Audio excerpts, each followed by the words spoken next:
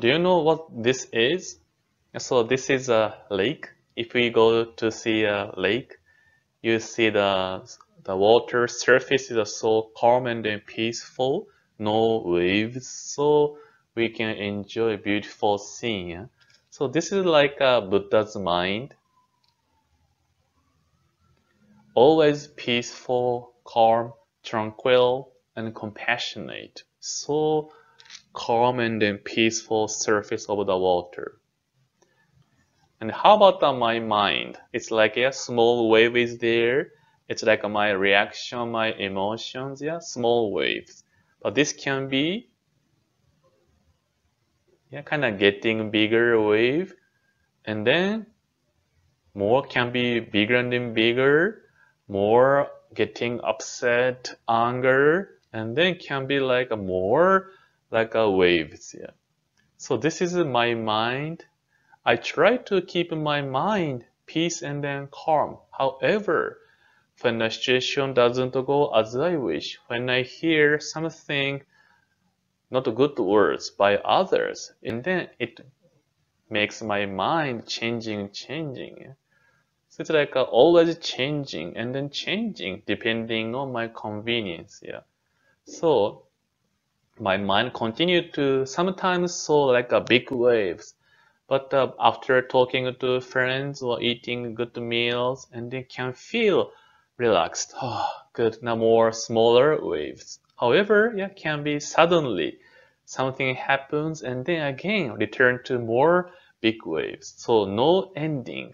My mind is unfortunately or naturally changing, changing.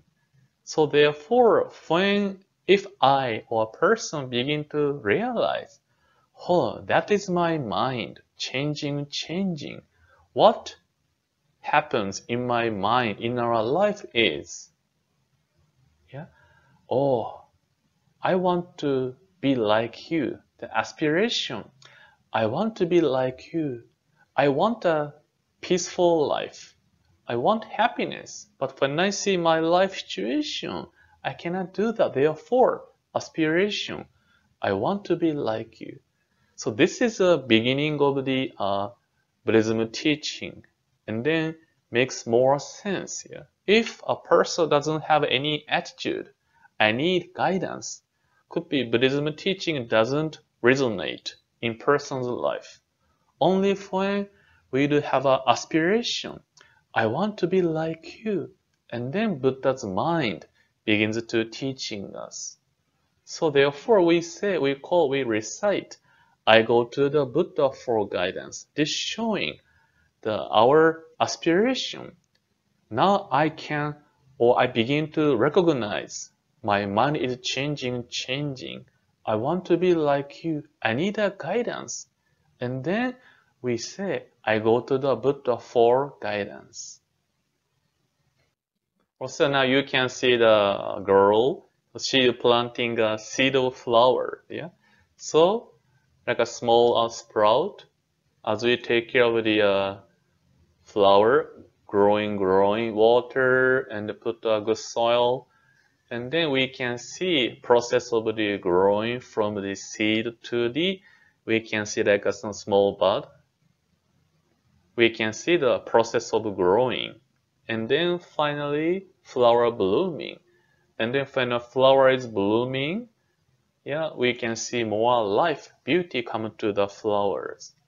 So we can see uh, this seed is a cause. This is a cause. And then effect is having a flower blooming. So cause and then effect we can see. And then there is a condition uh, people take care of the flowers, water, pull out the uh, weeds, and then because of the conditions of maintenance or good, good care, finally we can have an effect. So cause and effect with conditions. And then so therefore in our life too, effect is a bittersweet result. And then why do I have a bittersweet is? Yeah, attachment the cause is uh, my attachment, my desires. So therefore, because of this cause, because of this attachment as a cause, I do experience bittersweet as an effect.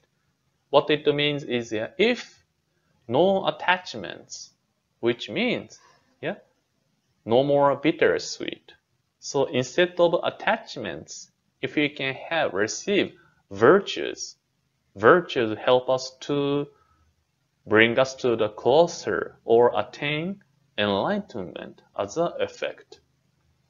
So again, we can see cause and effect as a basic yet fundamental concept of Buddhism.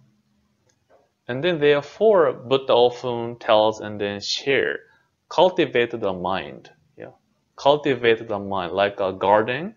Yeah, if we plant a seed, yeah, if we don't take care, we may not able to have a beautiful flower, plenty weeds. Yeah, but if we cultivate the garden nicely and with a love and then kindness, we can have a beautiful flowers. Yeah, same as uh, my mind, our mind there. If I let my mind be as it is, angry, upset, frustration, sad, or depression, yeah, my mind is like a garden without a good caring.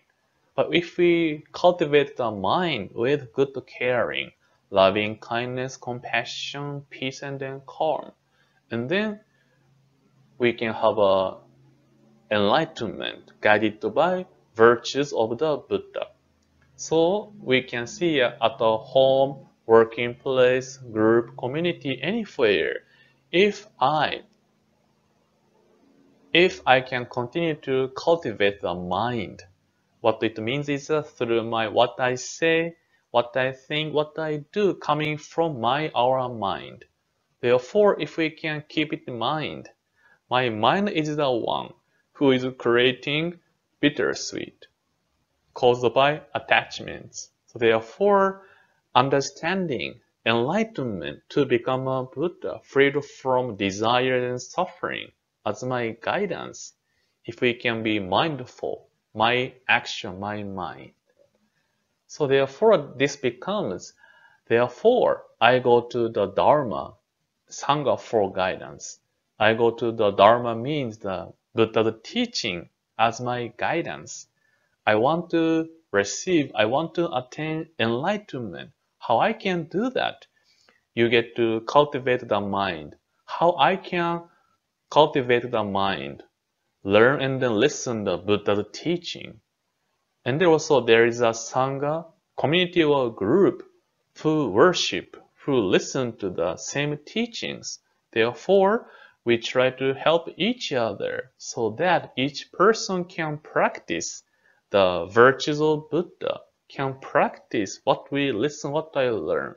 Therefore, we say we go to the Sangha for guidance so that we can support each other, feel you and me also go to the Buddha and Dharma for guidance.